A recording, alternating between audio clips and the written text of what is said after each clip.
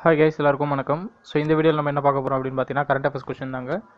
So சமீபத்தில் ரொம்ப முக்கியமான ஒரு விஷயம் போயிட்டுருக்கு. என்ன அப்படின்னா தமிழ்நாட்டில் ஒரு ராக்கெட் ஏவுதளம் எங்கே ஆரம்பிக்க போகிறாங்க அதுக்கான வழி தான் இப்போ வந்து பார்த்துக்கிட்டு இருக்கிறாங்க. ஸோ ராக்கெட் ஏவுதளம் ஆந்திராவில் இருக்குல்ல ஸ்ரீஹரிகோட்டாவில் சதீஷ் தவான்.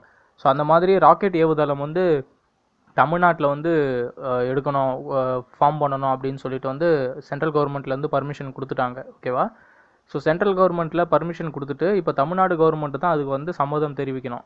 ஆல்ரெடி இதுக்கு முன்னாடியே வந்து சொல்லியிருந்தாங்க.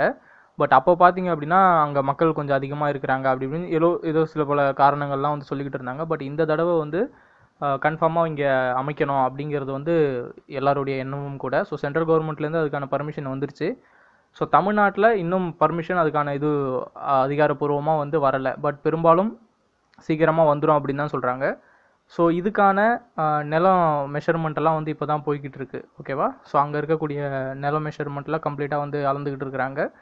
ஸோ எந்த இடம் அப்படின்னு பார்த்தீங்கன்னா தமிழ்நாட்டில் தூத்துக்குடியில் குலசேகரப்பட்டினம் அப்படிங்கிற இடத்துல தான் இருக்குது ஓகேவா ஸோ அந்த இடத்த தான் வந்து சூஸ் பண்ணியிருக்கிறாங்க ஸோ தூத்துக்குடியில் குலசேகரப்பட்டினம் இது பேர் நல்லா ஞாபகம் வச்சுங்க நிச்சயமாக இந்த மாதிரியான கேள்விகள் வர்றதுக்கான பாசிபிலிட்டிஸ் நிறையவே இருக்குது ஸோ தூத்துக்குடியில் குலசேகரப்பட்டினத்தில் தான் புதுசாக ராக்கெட் ஏவுதளம் வரப்போகிறதா சொல்லிக்கிட்டு இருக்கிறாங்க. வந்துடும் கூடிய சீக்கிரத்தில் கன்ஃபார்மாக ஓகேவா so thank you thank you so much